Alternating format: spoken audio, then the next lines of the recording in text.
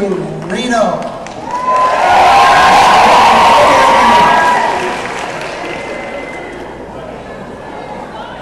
President, I knew your mother. She was so great. She loved Nevada. Your mother loved Nevada. You didn't know my mother, but I wish all of you knew my mother. I wish you could have met my mother. She would have loved you. You would have loved her. My mother had fiery red hair and she had the spirit to go with it. She was uh,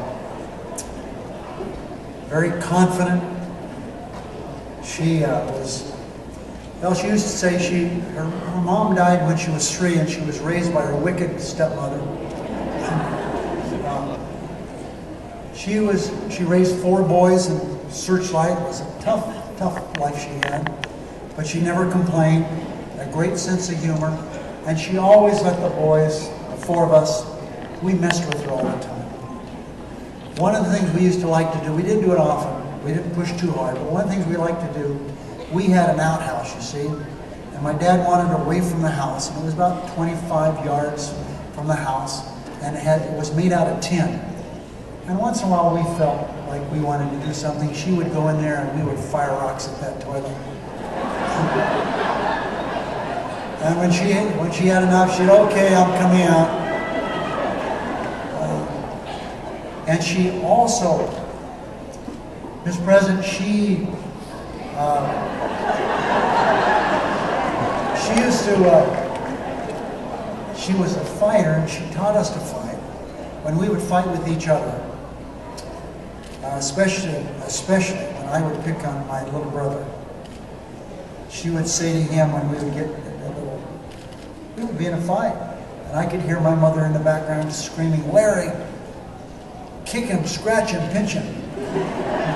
Okay? Now that's uh, how I learned to fight, my mother. But also, you know, once in a while, like the boys do, we would push her a little too hard. And she, half jokingly, but she was serious, said, you're going to be sorry when you see my cold, dead, gray body in the grave. Well, you know, the last uh, month or so, I've been thinking about those words of my mom because this economy of ours is cold, it's gray, and it's dead.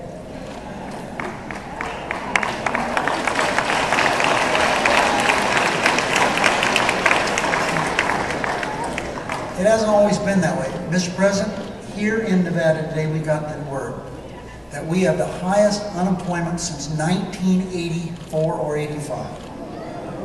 It jumped again another two-tenths of 1%. In addition to that, came out today that one out of every four Nevadans has no health insurance. Now that means an economy that's cold and gray and really dead. But you know something? I served in Washington when Bill Clinton was president.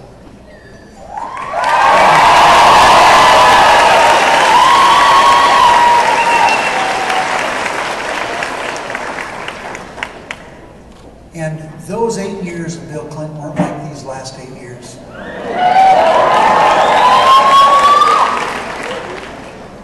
When George Bush took office,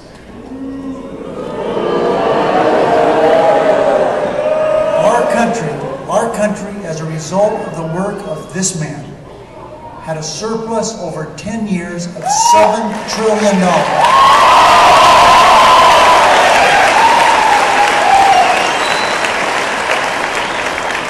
Because of his advocacy, there was passed the, we called it the Economic Recovery Plan. And it was a recovery plan.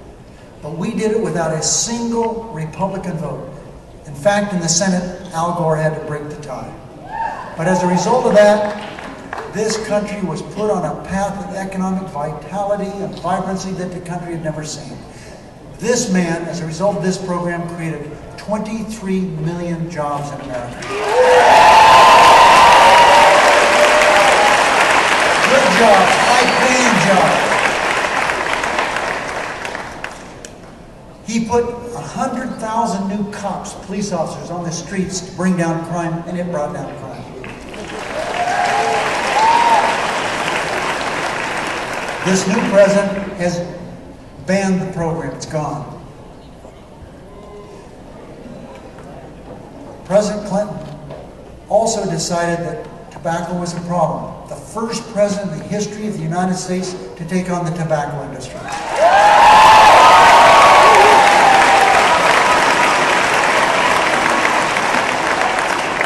Now, I've worked pretty hard myself. I've seen people work hard. But I have to say, I've never known a person to work harder than this man. On more than one occasion, on more than one occasion, 10, 11 o'clock tonight, I'm in, in, I'm in Nevada. I'm in Las Vegas, I'm in Reno, someplace in Nevada. And the phone rings and says, it's White House operator. The President of the United States would like to speak to you. It's 10 or 11 o'clock at night. He's in Washington. Keep, it's 1, 2, 3 in the morning. He's still up working, and that's the truth.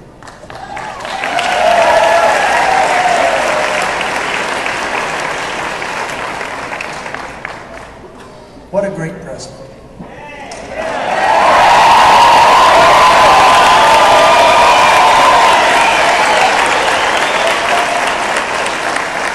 What, what has he done?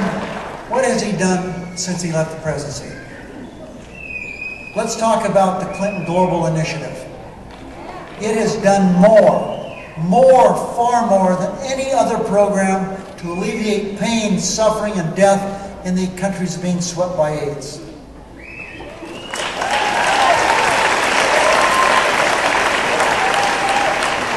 The tiny little mosquito is a killer.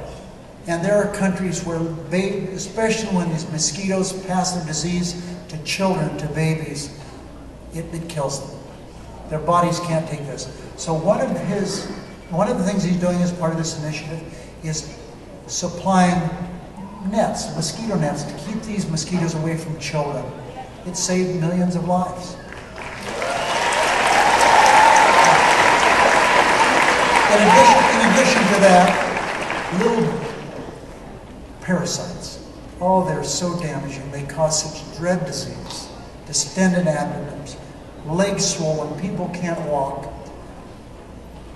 And now, as a result of President Clinton, people are getting a drug that costs 25 to 50 cents a year to prevent these terribly dread diseases.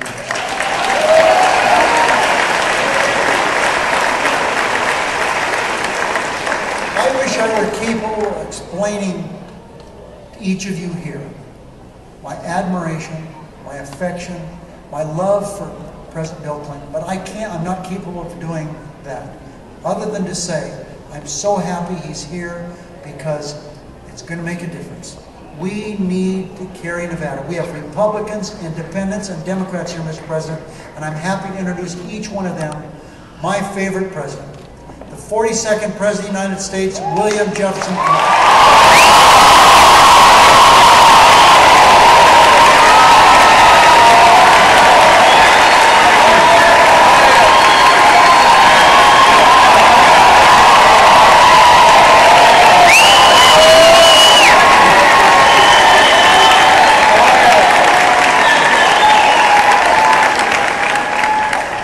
It's good to be back in Reno and good to be back here at this community college. I'm very glad to be here. President Sheehan, thank you for welcoming me here. I also want to thank uh, the person who introduced me the last time I came to Reno, who was once a faculty member here, State Senator Bernice Mathews. Thank you very much for all you